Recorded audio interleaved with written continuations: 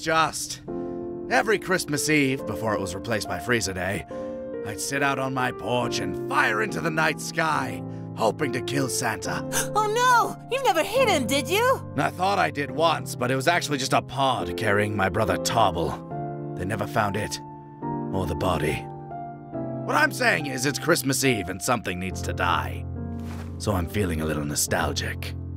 I have an uncle? You had an uncle.